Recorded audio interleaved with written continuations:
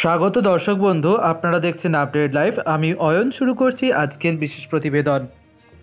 আজ আপনাদের সামনে বিশেষ কিছু তথ্য নিয়ে চলে এসেছি। এনসিটি থেকে একটি নতুন গাইডলাইন্স প্রকাশিত হয়েছে। যে গাইডলাইন্সের বিষয় নিয়ে আজকে বিস্তারিত আলোচনা করব এবং তার সাথে সাথে আজকে প্রাইমারিতে কোর্ট কেস সম্পর্কে যা তথ্য উঠে আসছে, তাতে করে সেই বিষয়গুলো নিয়ে আলোচনায় থাকছি। অবশ্যই লাল রঙের সাবস্ক্রাইব বাটনটিকে প্রেস করে পাশে নোটিফিকেশান বেলটিকে অন করে রাখবেন পরবর্তী ভিডিওগুলির আপডেট পাওয়ার জন্য। এনসিটির তরফ থেকে যে সমস্ত গাইডলাইন্স প্রকাশিত করা হয়েছে, সেই বিষয়ে যাওয়ার পূর্বে আপনাদের প্রথমেই জানিয়ে রাখি যে ইতিমধ্যে এই বিষয়গুলোকে নিয়ে বহুদিন ধরেই সরকারি স্তরে আলোচনা চলছিল এবং যে তথ্য উঠে আসছে, তাতে করে জাতীয় শিক্ষা ব্যবস্থার কাউন্সিল এনসিটি, নতুন শিক্ষানীতি অধীনে প্রাথমিক ক্লাস থেকে দ্বাদশ শ্রেণি পর্যন্ত স্কুল শিক্ষার সকল স্তরগুলিতে শিক্ষক যোগ্যতা পরীক্ষা বা টেট এবং কেন্দ্রীয় যোগ্যতা পরীক্ষা বাধ্যতামূলক করে দিয়েছে। এনসিটি দ্বাদশ শ্রেণি পর্যন্ত চেটের এবং সিটেট পরীক্ষা সম্প্রসারণের জন্য সর্ব অন্তর্ভুক্ত নির্দেশিকা পরীক্ষার কাঠামো উপাদানগুলি বিকাশের জন্য একটি নির্দিষ্ট কমিটিও গঠন দ্বারা করে দিয়েছে। যে কমিটির কাজ হবে ন্যাশনাল এডুকেশন পলিসি টোয়েন্টি টোয়েন্টির সাথে যুক্ত থাকা এবং সেই সমস্ত সুপারিশগুলিকে মেনে কীভাবে টেট পরীক্ষা গঠন করা যায় এবং এই পিটেট পরীক্ষা নেওয়ার প্রাইমারি টেট পরীক্ষা শুধুমাত্র নয়, হাপার প্রাইমারি হোক বা হায়ার সেকেন্ডারি হোক সেকেন্ডারি হোক, সমস্ত ক্ষেত্রে টেট পরীক্ষাগুলো যেভাবে নেওয়া যায় সেই ব্যবস্থাপনা করা। এর যে গাইডলাইন্স নম্বর ছিল, NCTE ACAD zero two three slash seventeen twenty twenty ও, এই নাম্বারের যে কপি রয়েছে বা অর্ডার অর্ডার রয়েছে, সেটা চেয়ারম্যান অফ সিবি সিবিএসই তরফে দেওয়া হয়েছে principal secretary secretary commission of স্টেটের গভর্নমেন্টের দেওয়া হয়েছে। এখানে কিন্তু কয়েকটা বিষয় পরিষ্কার করে জানিয়ে দেওয়া ভালো, যারা কিন্তু যে অর্ডারটা দেওয়া হয়েছে, তাতে করে বলা হচ্ছে the NEP enacts numerous change of Indian teacher education sector. Under the reference tax number 145 of the Ministry of Education letter dated 23rd October 2020 NCTE has therefore constituted a committee to develop a comprehensive TET guidelines structure state components etc to extend TET to all level of school education from preparatory grade 20, uh, 12th allied with NEP 2020-20 on the before thirty first March two thousand twenty one অর্থাৎ সমস্ত যে পরীক্ষাগুলো হচ্ছে বা যে সমস্ত teacher recruitment পরীক্ষা হবে আগামী দিনে, সেই পরীক্ষাগুলোতে যাতে টেস্ট বা টেট পরীক্ষা নেওয়া যায়, তার জন্য একটি কিন্তু গাইডলাইন্স প্রকাশিত করা হচ্ছে। এবং এই গাইডলাইন্স অনুসারে আগামী দিনে কিন্তু পরীক্ষা নিতে হবে এবং পরীক্ষা একত্রিশে মার্চ পরিচালনার ক্ষেত্রে যাতে কোনো সমস্যা হয়, তা গভীর অধ্যয়নের পর কমিটি সুপারিশ করতে বলা হয়েছে। এবং যদি কোনো রকম সমস্যা থাকে, সেগুলো সুপারিশ করতে বলা হচ্ছে এবং রাজ্যের ক্ষেত্রে ডাব্লিউবিএসএসসি যেমন শিক্ষক নিয়োগ করে পিএসসির মাধ্যমে যেমন শিক্ষক নিয়োগ হয়েছে, এর আগেও এই ব্যবস্থাগুলি থেকে অর্থাৎ রাজ্যের শিক্ষক নিয়োগের যে ব্যবস্থাপনা রয়েছে, সেই ক্ষেত্রগুলিতেও আগামী দিনে কিন্তু টেট পরীক্ষা হবে।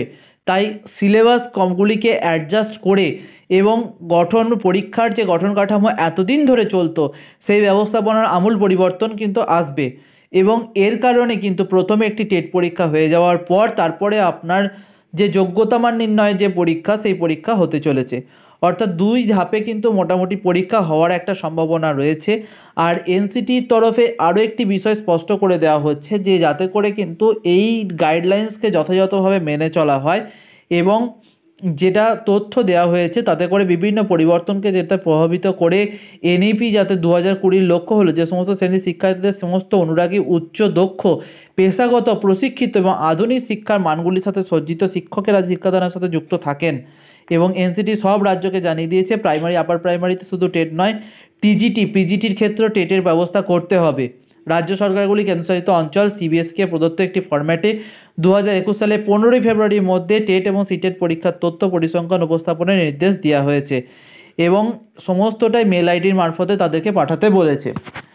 তাহলে একটা বিষয় পরিষ্কার হয়ে গেল যে আগামী দিনে কিন্তু পরীক্ষা ব্যবস্থার আমূল পরিবর্তন ঘটবে এবং এই টিচার রিক্রুটমেন্টের ব্যবস্থাপনা যাতে সেখানে শুধুমাত্র প্রাইমারি ক্ষেত্রগুলিতে টেট পরীক্ষা দিয়ে তারপরে কিন্তু রিক্রুটমেন্ট হতো, শুধু সেই ক্ষেত্রটি নয় এবং বর্তমানে যেভাবে পরীক্ষা হচ্ছে তার সাথে সাথে সেগুলোরও পরিবর্তন আসবে এবং টেট পরীক্ষা হওয়ার পর হয়তো ফাইনাল রিক্রুটমেন্ট বা অন্যান্য বিষয় যেগুলো থাকবে, সেই বিষয়গুলি হওয়ার সম্ভাবনা রয়েছে।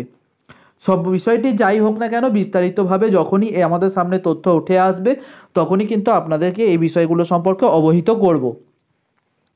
এবার আরেকটি গুরুত্বপূর্ণ বিষয় আপনাদের সামনে তুলে ধরা অত্যন্ত জরুরি। যেটা হচ্ছে ইতিমধ্যে দু হাজার চোদ্দ সালে প্রাইমারি টেট কেস নিয়ে যা তথ্য উঠে আসছিল, সেই তথ্যগুলি আপনাদের সামনে পূর্বে উপস্থাপন করেছি। আজও এই কোর্ট কেসটি কিন্তু আগামী দিনে উঠবে এবং আজ একটি কোর্ট কেস ছিল। দু হাজার নয়ের সাউথ চব্বিশ পরগনার একটি কোর্ট কেস। যে কোর্ট কেসটা ইতিমধ্যেই হিয়ারিং হয়েছে আজকে এবং আটশো উনিশ by two thousand twenty one, এটা রেজিস্ট্রেশন নাম্বার, ফাইলিং নাম্বার আটশো ছাব্বিশ টু থাউজেন্ড টোয়েন্টি ওয়ান। এই কেসটা কিন্তু আজকে হিয়ারিং ছিল। নিউ মোশন হিসেবে হিয়ারিং হচ্ছে এবং এর পরবর্তী সময়ে এই ছুটির পর আবার আঠেরো তারিখে এই কেসটার হিয়ারিং রয়েছে। তখন এই কেসটা সম্পর্কে কী তথ্য উঠে আসে দেখতে পাবো এবং এখনও পর্যন্ত কোনো রকম অর্ডার কপি কিন্তু আপলোড করা হয়নি। আজকে কোর্ট কেসটা কিন্তু একুশ নম্বরে লিস্টেড ছিল।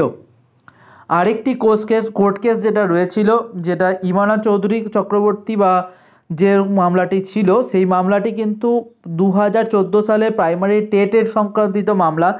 এই মামলাটি আগামী কালকে লিস্টেড করা আছে এবং দশ তারিখে এই মামলাটি ওঠার সম্ভাবনা রয়েছে। এই আপাতত এইটুকুই যা খবর রয়েছে। আগামী দিনে আরও কিন্তু বেশ কিছু তথ্য উঠে আসবে। দেখুন, এই কোর্ট কেসগুলো সম্পর্কে যা তথ্য পাচ্ছি, আপনাদের সামনে বারবারই উপস্থাপন করার চেষ্টা করছি। এবং আরও একটি কোর্ট কেস যেটা আগামী দিনে লিস্টেড হওয়ার সম্ভাবনা রয়েছে, দশ তারিখ, বারো তারিখ করে। দশ বারো তারিখ করে এই কেসটা কিন্তু লিস্টেড হওয়ার সম্ভাবনা রয়েছে, যেটা হচ্ছে ইতিমধ্যে filing number three six three eight two thousand twenty one registration number three six two two two thousand twenty one এই কোর্ট কেসগুলো কিন্তু আগামী দিনে হেয়ারিং হবে।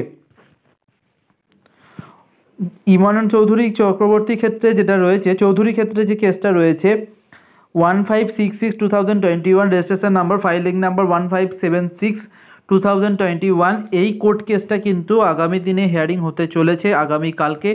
এবং এ সম্পর্কে যে অর্ডার কপি আসবে সেটা জানাব আপনাদের। আরও একটি বিষয় দেখুন, বর্তমান পরিস্থিতিতে কিন্তু আজকেও কিন্তু আন্দোলন ছিল এবং আপার প্রাইমারি সংক্রান্তিত একটি গুরুত্বপূর্ণ আন্দোলন কিন্তু আজ হয়েছে। আগামী দিনে এগারো তারিখে আবারও একটি আন্দোলন রয়েছে। যে আন্দোলনের পরিপ্রেক্ষিতে নবান্ন অভিযান হতে চলেছে। যে নবান্ন অভিযানে আপনারা কিন্তু সকলে অংশগ্রহণ করার চেষ্টা করবে যাদের পক্ষে সম্ভব। কারণ ইতিমধ্যে ভোট এসে গিয়েছে। রাজ্য সরকার কিন্তু ভোটের জন্য ইতিমধ্যে ব্যস্ত হয়ে গিয়েছে। এবং বিভিন্ন ক্ষেত্রে সরকারি প্রকল্প ঘোষণা করে যাচ্ছে একের পর এক। সেই প্রকল্পগুলি আদতে আগামী দিনে বাস্তবায়িত হতে পারবে কি পারবে না সেই বিষয়গুলি পরবর্তী সময়ে দেখা যাবে। কিন্তু বর্তমানে সময়ে শিক্ষকদের এই পরিস্থিতি যেটা রয়েছে, এই পরিস্থিতি থেকে বেকার যুবক, যুবতী যারা ইতিমধ্যে আমাদের সামনে উপস্থিত এবং এখনও পর্যন্ত যাদের যন্ত্রণার কারণগুলি মেটেনি, তাদের বিষয়গুলো কিন্তু গুরুত্ব সহকারে দেখা প্রয়োজন রয়েছে এবং এই জন্য এই বর্তমানে কিন্তু এই আন্দোলনগুলো যথাযথভাবেই হচ্ছে। আজ আপনাদের আরও একবার দেখিয়ে দেবো, আরেকটি গুরুত্বপূর্ণ আন্দোলন কিন্তু দু সম্পর্কে কিন্তু হয়েছে এবং দু হাজার চোদ্দ সালেও সম্পর্কেও ইতিমধ্যে আন্দোলন হয়েছে। তো আপনারা দেখতে থাকুন এবং আগামী দিনে আরও নতুন নতুন তথ্য নিয়ে চলে আসব। অবশ্যই লাল রঙের সাবস্ক্রাইব বাটনটিকে প্রেস করে পাশে নোটিফিকেশান বেলটি অন করে রাখবেন পরবর্তী ভিডিওগুলোর আপডেট পাওয়ার জন্য।